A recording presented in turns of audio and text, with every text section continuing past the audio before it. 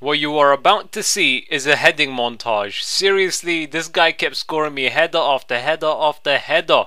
So today we're going to be looking at Inform Milito. I was actually surprised I never reviewed this guy because he's in Serie A he plays for Inter Milan and I don't know, I just really love Milito back in FIFA 11 when Eto'o was at Inter Milan. Those two up front were deadly, but now we have um, Inform Milito alone. So how does he play? He's actually pretty cheap on the PS3. He's only going for around 38k, somewhere around there. He has been out for quite a while now, and I was surprised how many of him were on the market. And before I begin the review, if you guys are looking for coins, check out UT Coin Traders. Their link will be in the description.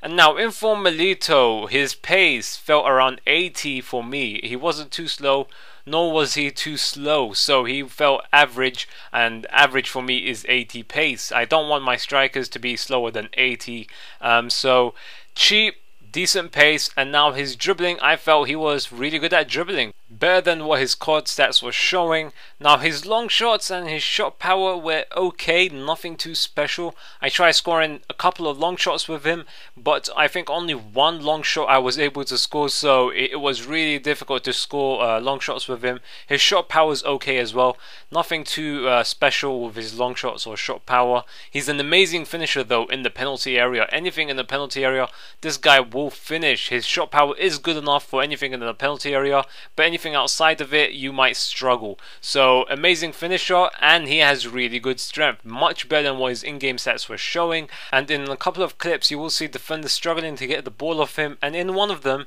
he actually goes on to score under pressure, which is simply amazing.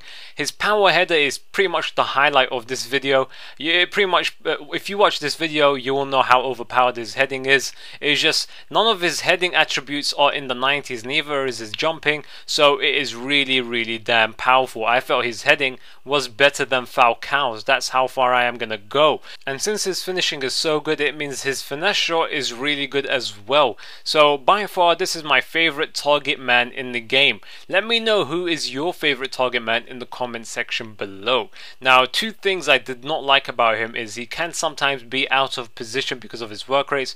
He has high attacking and medium defending, so sometimes he isn't in the box when you want to cross it to him, but this doesn't happen too frequently. And he also has freestyle skills and freestyle weak foot, meaning he isn't too great when you want to skill or if you want to use his left foot. It does feel like a three star weak foot. You can score a couple with his left foot, but shooting from long range or trying to finish, he isn't too great with his left foot. But that is pretty much it for this review. It, he was a really good player in my opinion. It was just so easy to just keep crossing. Let me tell you something. If you love to run down the wing and cross, I'd recommend it. But if you want more of a skiller or a dribbler or a guy that shoots from distance, I don't recommend Inform Diego Milito. But if you love to run down the wing and cross, and 99% of the time it will go in, get inform Diego Milito.